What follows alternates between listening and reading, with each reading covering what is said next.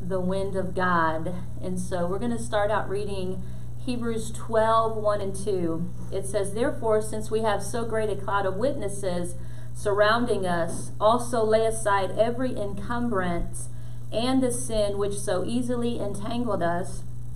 And it says, And let us run with endurance the race that is set before us, fixing our eyes on Jesus, the author and the finisher, the perfecter of faith.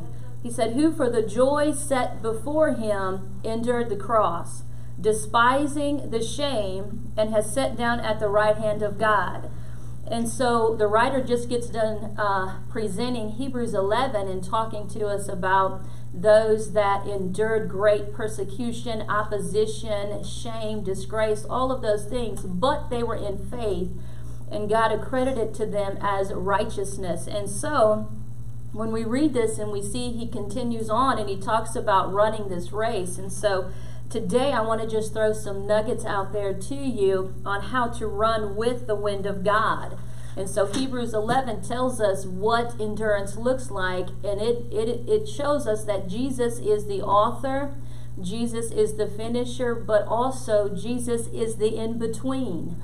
And so when we fix our eyes on Jesus, we stay in the race no matter what happens, no matter what comes our way. And so the Apostle Paul also encourages us and he tells us that we are surrounded by these heroes. And so these heroes are in the realm of the Spirit. These are onlookers for us today. And so the Bible says they cheer us on. And so we're surrounded by witnesses, those that have gone before us in faith.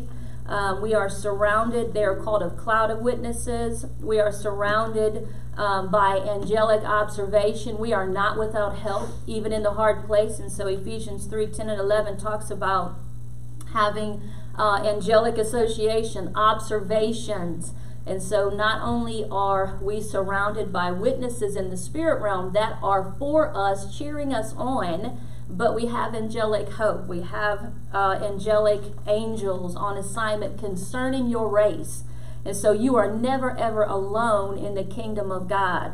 And then also we have to understand that the world is watching us. Okay? They're watching the church, especially right now with all of this stuff going on in the earth realm. And so every realm of the Spirit is watching the child of God. That's how important you are to God.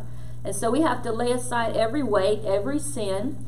And so if you have sin bondage, okay, you have an identity problem. And so we know that God delivers us, He sets us free. So we cannot, as a child of God, when we live habitually in sin or rebellion against God, it's going to be a hindrance to us. We cannot run with the wind of God whenever we live like this. So thank God there's freedom, there's there's revelation, the truth makes us free, and we do not have to live like that. The other thing I want to talk about um, these weights that, that the writer is speaking of. So weights can be different um, for everyone. Everybody has their own race. It's tailor made for your purpose, your destiny, your calling. Um, you may find yourself in a hard place. Keep walking with the Lord. You will come out. Okay.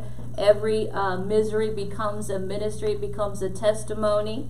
And so, some of the weights that um, that the Lord was speaking to me about for people are could be uh, number one, social obligations that keep you from the purpose of God.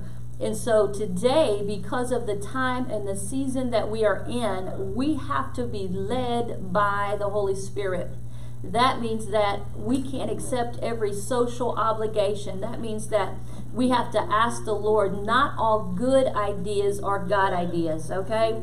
And so check that. Check check your life. See the things that's hindering you from obeying Jesus. See the things that's hindering you from your purpose and your destiny. The second thing could be uh, sentimental attachments, things that consume our hearts and weigh us down um, things that steal our affections above the Lord Jesus. And that's very true today. Sometimes sentimental things, um, we find our our heart being drawn to these things and, and soul strings and ties and all those things can pull us out of running the race. And so you have to see in this season where your affections lie. And it's not that all those things are bad, but if those things consume you and keep you from your purpose and your destiny and, and being obedient to Jesus, that's a hindrance. And so the next thing is the third thing is unforgiveness and offenses will get you off track. They will put you on the pause button. You will not be uh, running with the wind if you get offended. And so if you are offended today and you're watching this, release them. Release anything that causes you to have unforgiveness. Release those things because they will keep you from running this race. The next thing is guilt and condemnation. So if you, um, condemnation is a disease of the spirit. And so if you're a child of God, we're not guilty. We're forgiven. We walk in the blood of Jesus. And so forgive yourself, release yourself. Don't allow guilt and condemnation to keep you from running your race. Amen. And the next thing is the worries and cares of life. And so 1 Peter 5 7 says, casting all your anxiety on him because he cares for you. And so a spirit of worry, the Greek word for worry means to strangle. And so if you are running a race and you are in worry, you are in fear, um, uh, all of those things, worry bring, you know, it's rooted in really fear. And fear paints you a wrong picture uh, of your finish line. And so you cannot finish the race set before you if you have fear. So fear has to go. Fear is a spirit, it's the enemy of you finishing strong. Worry strangles you. And I don't know, but I used to run track in school, and if I couldn't breathe, guess what? You couldn't run. And so if, if worry strangles you, why are you worrying, right? It strangles the breath, the life of God out of you. And it will keep you from being able to breathe as you run, breathing in the breath of the Holy Spirit. And so uh, fear brings you a defeated mindset. All of those things will keep you uh, from the spirit of endurance that is yours through the Holy Spirit. So hindrance will consume your time, hindrances will consume your attention, and it'll cause you to get outside the will of God. And so they steal everything from you. They will steal your energy.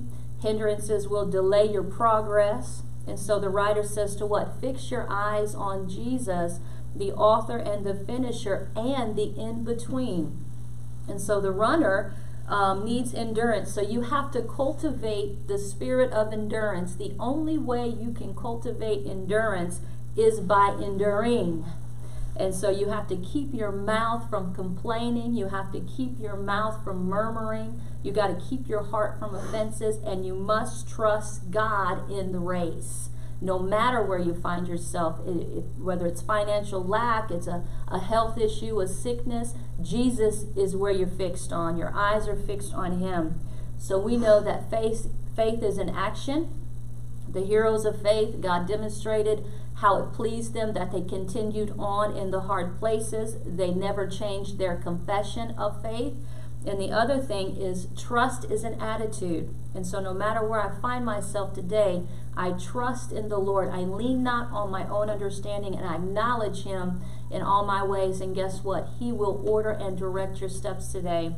And so I want to pray for you today that if there's any hindrances in your heart right now, if there's any sin, things that God has been dealing with you about, that, that you release that today, that there is a repentance today. And so, Father, even now, I just lift up those that are watching, Father God, and those that are eating this word today.